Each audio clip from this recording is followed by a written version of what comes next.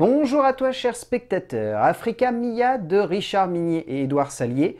C'est un film dont j'ignorais quasiment tout avant de découvrir la bande-annonce. Et lorsque j'ai découvert la bande-annonce, j'ai ressenti une vraie petite vibe à la Buena Vista Social Club et me suis dit que le film pouvait être vraiment cool. Que ça pouvait être également juste un copier-coller de Buena Vista Social Club, ça pouvait clairement être le cas, mais qu'au-delà de ça, ça pouvait être une œuvre très entraînante et très touchante par le biais de son sujet.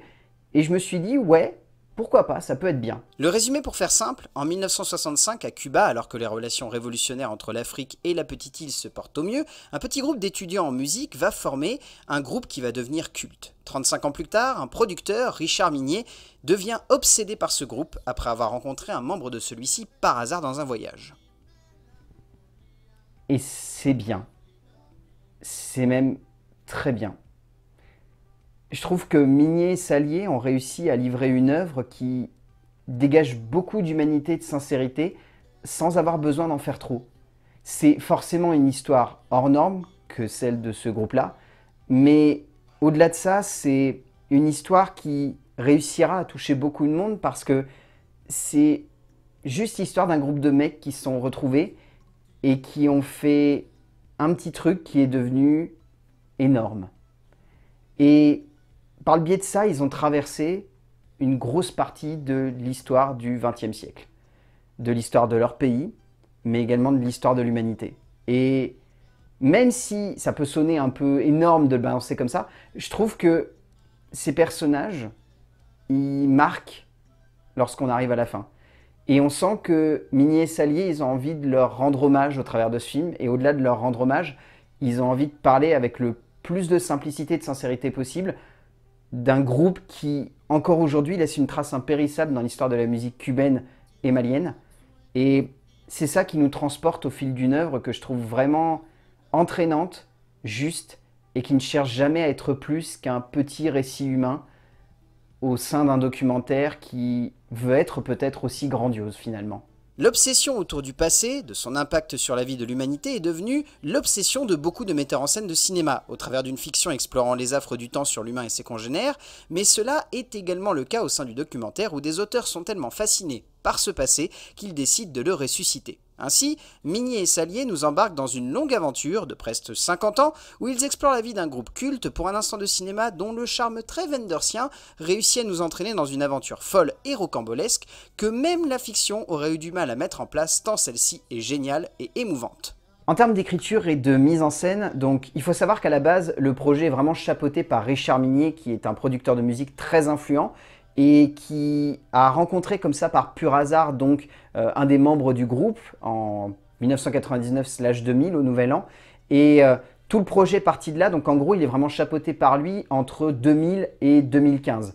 Et à partir de 2015, il y a Édouard Salier qui s'est greffé au projet et qui a essayé d'apporter un regard un petit peu plus reculé par rapport à l'œuvre, ce qui fait qu'on se retrouve vraiment avec deux points de vue très différents. On a d'un côté un mec qui est vraiment attaché à toute cette histoire-là, Richard Minier, qui a vraiment chapeauté le projet, qui a fait en sorte de l'emmener le plus loin possible, donc un mec qui est très affecté par ce qui se passe. Et on a Édouard Salier qui, lui, de son côté, essaye d'apporter un petit peu de recul, d'amener ce point de vue un petit peu omniscient qui permet de comprendre les personnages, mais en même temps de savoir mettre le haut là au moment où on va être un petit peu trop émotionnel par rapport à tout ce qui se passe. Et c'est ça que je trouve très beau dans cette œuvre. C'est qu'à aucun moment c'est une œuvre qui a envie d'en faire trop par rapport à son sujet de base parce que les deux points de vue s'équilibrent. Ils sont jamais dans un aspect qu'on aurait pu qualifier de trop affectif, de fleur bleue presque en un sens, dans le sens où l'émotionnel aurait pu prendre trop de place et où du coup l'œuvre aurait été moins intéressante par rapport à ça. Mais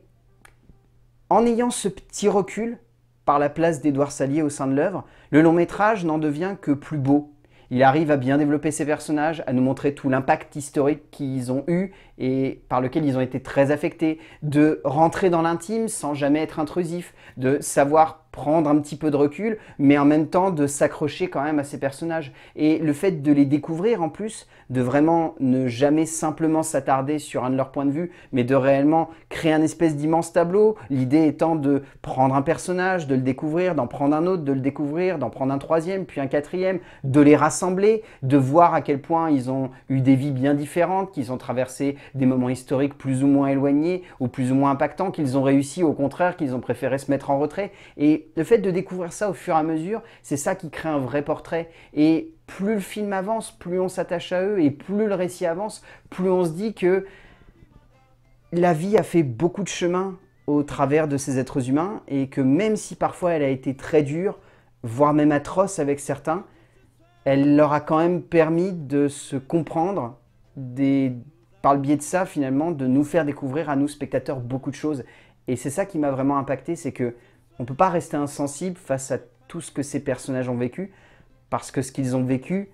c'est littéralement un bout de notre histoire. Au fil de son aventure, au fil de son regard sur le groupe et sur leurs aventures, Migné contemple presque ce groupe comme un groupe de vieux amis dont il ne peut s'empêcher de ressentir une vraie proximité qu'il va développer à merveille face à sa caméra. Salier, quant à lui, parvient à cristalliser cela en jouant extrêmement bien avec la mise en scène de la partie plus récente et plus complexe de ce récit, qui réussit à constamment se renouveler au fil de l'avancée de cette aventure hors norme et surtout touchante dans son recul presque surréaliste quant à l'aventure que ces musiciens ont connue, autant à Cuba qu'au Mali. Le montage couple à cela un recul historique qui parfois donne des frissons forts et intenses à l'œuvre des deux metteurs en scène, qui ne tombent jamais dans une émotion trop à fleur de peau, parvenant surtout à jouer avec nous et à nous embarquer avec ferveur et justesse tout de son long. En termes de casting et de témoignage, je trouve que la découverte de ces différents musiciens est vraiment bien faite. Et au-delà de ça, il s'ouvre complètement à nous.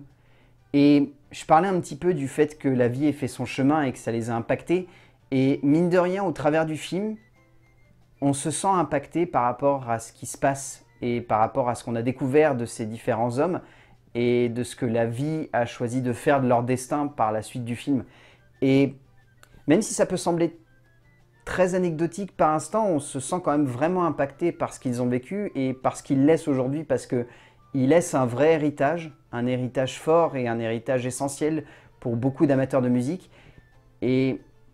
on se sent ému finalement par leur voyage et par le témoignage qu'ils en tirent. Et en plus, c'est très bien ressorti de la part de Richard Minier qui, par le biais de sa voix off, ne prend jamais trop de place et se contente simplement de compléter ce qu'ils évoquent à l'écran et je trouve ça très beau. La présence de Richard Mini en voix off emporte à merveille ce récit, accompagné par les témoignages tantôt très drôles, tantôt plus touchants de cette bande d'amis réunis d'un seul coup par le temps et la chance. Au bout du compte, Africa Mia est un film que je trouve vraiment entraînant, très surprenant, qui n'abuse jamais de ses effets émotionnels ou cinématographiques et qui se contente juste de nous faire avancer au fil d'une aventure qui, par moments, va sonner comme un poil anecdotique, mais qui arrive à rester à hauteur d'homme et à comprendre ces êtres humains pour faire en sorte que on se laisse entraîner par leur histoire, qu'on prenne plaisir à les découvrir et à voir jusqu'où ils vont aller avec ce producteur. Et on est vraiment touché lorsqu'on arrive à la fin. Parce qu'on se dit qu'on a fait un vrai voyage et que ce voyage, il a été fort en émotion et qui nous a surtout marqué. Donc Africa Mia de Richard Mini et Édouard Salier, si vous avez l'occasion de le voir, je vous le conseille très fortement parce que c'est un documentaire qui ne risque pas de vous laisser de marbre et duquel vous allez ressortir en étant très touché par ce que vous avez vu. Ça serait pas étonnant. A plus